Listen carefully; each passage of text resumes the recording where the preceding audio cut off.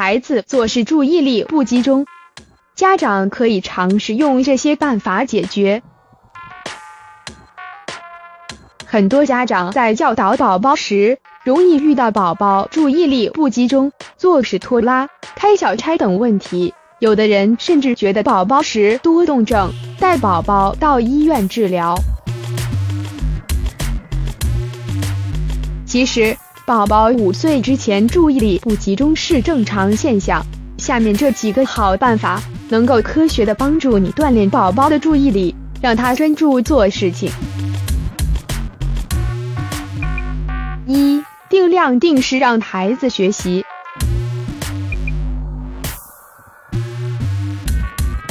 小丽每天都会帮儿子安排学习时间，早上背诵十个英文单词，中午学习一篇古诗，晚上就练习十道数学题。同事看小丽儿子每次都能专心完成，就问小丽是如何做到的。小丽说：“她每天让儿子定量定时的学习，慢慢形成了条件反射。时间长了，儿子已经自己习惯专心学习了，不会因为其他原因分心。”二，对孩子兴趣不要打压。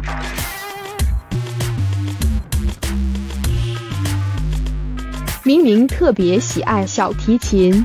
可是妈妈怕拉小提琴会影响明明的学习成绩，小学后就不让明明碰小提琴了，反而给他买了一堆学习资料。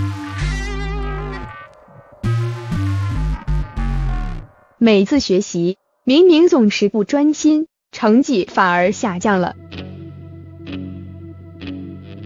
老师叫来妈妈，告诉他不要打压孩子的兴趣。只有孩子对一件事情充满好奇、感兴趣，才能专心的去完成。对孩子的兴趣，我们应该引导；过度的抑制和打压，只会让孩子产生反弹和厌烦情绪，不仅不能集中注意下学习，反而会影响学习效率。三。抑制自己的唠叨。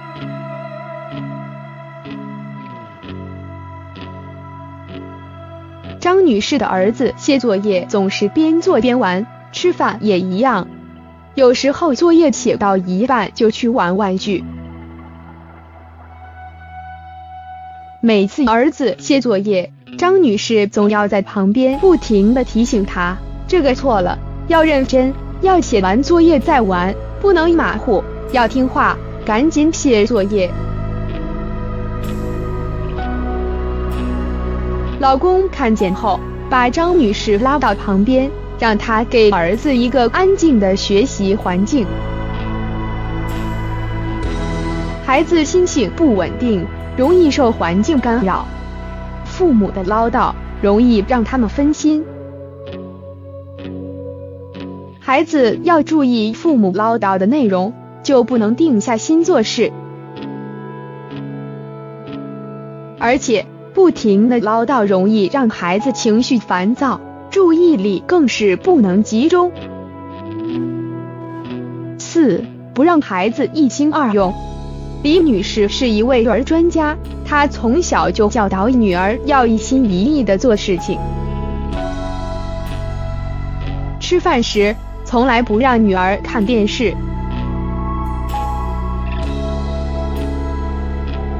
女儿写作业，他就坐在旁边看着，不和女儿说话，也不让电视和手机的声音来分散女儿的注意力。一心二用地做事情很难成功，甚至会因为不够专注而酿成大祸。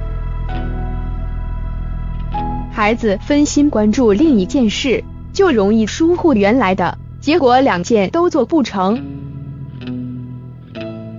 如果你的孩子有注意力不集中的情况，不要着急，试着按照上面的方法为孩子制定计划，营造一个安静的环境。